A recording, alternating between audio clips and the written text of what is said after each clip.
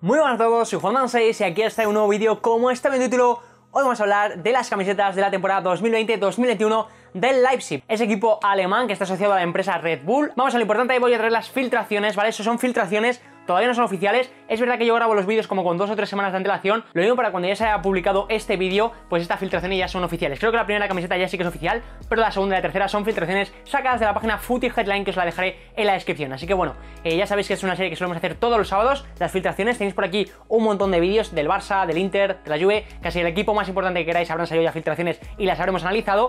Y nada, que dejes un like en esta serie que es muy importante, que poca gente la ve, entonces la poca gente que lo vea hay que darle un like y suscribirse al canal.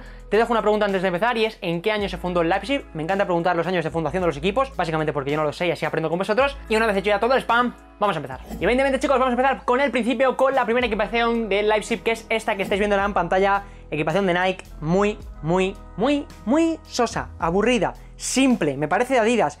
Es verdad que os estaré poniendo también una foto del costado, ¿no? Porque es lo, guay de la camiseta. O sea, si tú ves la camiseta de frente es mm, pésima. O sea, es una camiseta que creo que se hizo hace pocos años. Muy musosa, muy aburrida. Y luego en el costado es verdad que le meten ahí como un zigzag, eh, mezclando el amarillo y el rojo. Pero me parece una camiseta bastante básica, bastante aburrida. Que a mí personalmente no me gusta nada. O sea, no es que sea fea. Creo que las pretinas tenían que haber sido en rojo también. Hubiesen dado un toque más. Pero me parece muy básica, muy simple.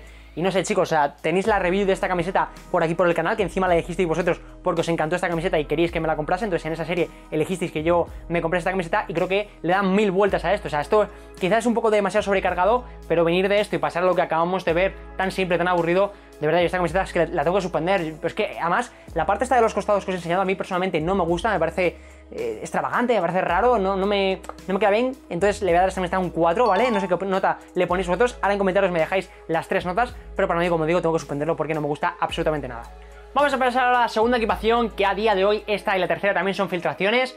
No sé si luego serán públicas o no, pero bueno, yo las enseño. Esta vendida la segunda equipación, una equipación azul que me ha extrañado que sea de este color, porque ahora vamos a ver que la tercera también es bastante similar. Entonces, bueno, encontramos una camiseta que tiene un poquito más, ¿vale? Ese cuello raro en naranja, Luego también tiene eh, los costados, creo que también los tiene en naranjas. No lo podemos ver, aquí no se ve bien en la foto y no tenemos una foto como antes de los costados, porque como digo, esta no es oficial, pero sí que es un poco más distinta, ¿no? Llama un poquito más la atención, con el escudo monocromático en amarillo, los, toros en amarillo, el Nike en amarillo. Vuelvo a pensar que las pretinas tenían que haber sido en naranja, que todo tenía que haber sido en naranja o todo tenía que haber sido en amarillo, no mezclando estos tres colores. A mí ese azul personalmente sí me gusta. No lo termino de ver en el Leipzig, no sé por qué. Creo que al Leipzig le asocia un color un poquito más oscuro para las segundas equipaciones, incluso negro.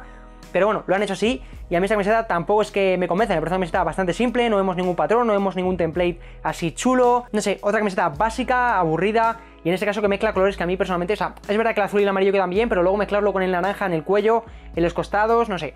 Camiseta también bastante aburrida, bastante sosa, me gusta un poquito más que la anterior, le voy a dar un 4,5 y medio, pero de momento no me está gustando nada las equipaciones que ha hecho Nike para el Leipzig. Y eso que a mí Nike me gusta mucho, a mí el Leipzig me gusta mucho, y como que estas dos marcas siempre suelen combinar bien, pero este año yo no sé qué ha pasado. Igual a vosotros os encanta, me lo podéis dejar también en comentarios, pero a mí se me queda sosa y casi que la que más me gusta, aunque tampoco me gusta mucho, es la tercera equipación. La tercera equipación, como digo, también es filtración y a muchos os va a sonar parecida si seguís mi canal porque ya la vimos, o bueno, vimos una similar en las equipaciones del Arsenal, ¿vale? La tercera equipación del Leipzig es muy parecida a la tercera equipación del Arsenal. Encontramos como este...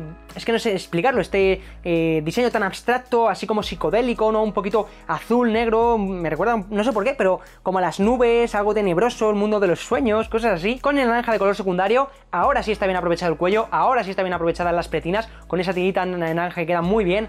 Y evidentemente, con todo el sentido del mundo y toda la coherencia, el Nike, el escudo monocromático y los toros van en naranja, lo cual hace que todo tenga su contraste y todo quede bastante bien. A mí este patrón psicodélico no me termina de convencer, ya lo dije la del Arsenal, pero aún así creo que es la que está más currada de los tres y a mí la que más me gusta. Si tuviese que comprarme alguna sería esta, creo que en versión eh, jugador puede ser interesante. Como digo, esto de momento es una filtración, entonces no sabemos, pero lo que sí que sabemos es que de las tres que hemos visto, para mí esta es la que más trabajo tiene.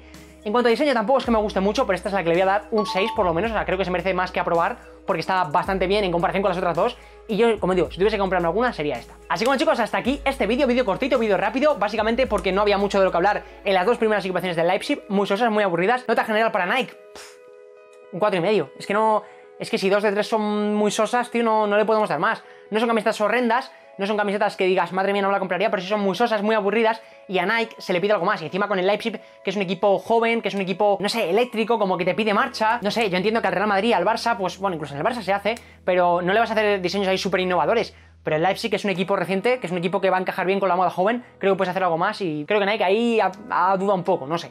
El caso es que vosotros me podéis dejar en comentarios tanto en qué año se fundó el Leipzig como qué opináis de las camisetas y qué nota les ponéis. Ahora sí vosotros los profesores. Y nada, si os gusta este vídeo, sabéis que podéis darle un buen like. También que os podéis suscribir aquí a mi izquierda, os dejo por aquí mi Instagram. Aquí debajo os dejo un vídeo en el que explicamos las equipaciones del Valencia, ¿vale? Del Valencia, un equipo también, pues que sus años buenos, pues estaría compitiendo con el Leipzig ahí, no sé, creo que estaría guay.